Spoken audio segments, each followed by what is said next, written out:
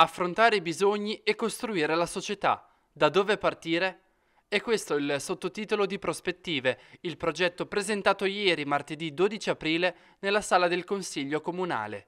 Presenti all'incontro il coordinatore Caritas Pesaro Andrea Mancini, il direttore CDO Pesaro Urbino Angela Tringali, il consigliere regionale Nicola Baiocchi, l'assessore regionale Guido Castelli e il consigliere comunale Michele Redaelli.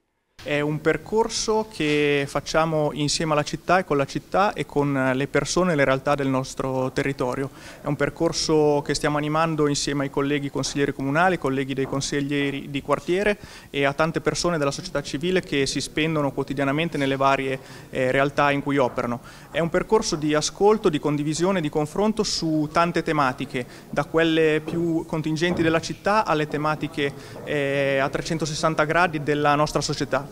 Quello che vogliamo fare è andare a identificare alcune, alcuni problemi, alcune tematiche e guardarle sotto diverse prospettive. Questo è il, il cuore del, del, nostro, del, del, nome, del progetto che lanciamo e soprattutto con prospettive lanciate verso il futuro. Quindi per anche immaginare quella che può essere la città e il nostro territorio dell'oggi ma soprattutto del domani. Lo faremo coinvolgendo in maniera attiva tante persone eh, della nostra città, imprenditori piuttosto che persone del mondo delle associazioni, piuttosto che persone del mondo della politica e delle amministrazioni, ma anche con uno sguardo aperto a 360 gradi per andare a individuare quei buoni modelli e quelle buone pratiche attorno a noi da poter in qualche modo eh, analizzare, seguire ed eventualmente anche eh, riportare sul nostro territorio. C'è tanto bisogno di pensiero, spesso e volentieri noi, anche chi come me fa politica attiva, constatiamo come i social, i nuovi tempi della politica quasi impongano delle reazioni immediate di fronte ai fenomeni, quasi non c'è tempo per pensare, per meditare, per capire che rispetto a un like, rispetto a un follower c'è qualcosa forse di più.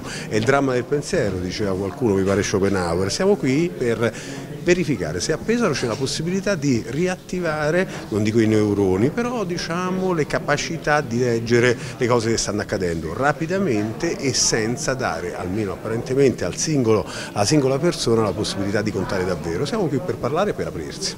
Per l'occasione l'assessore regionale Castelli ha risposto anche ad alcune domande sul tema più caldo degli ultimi giorni, l'arretramento ferroviario.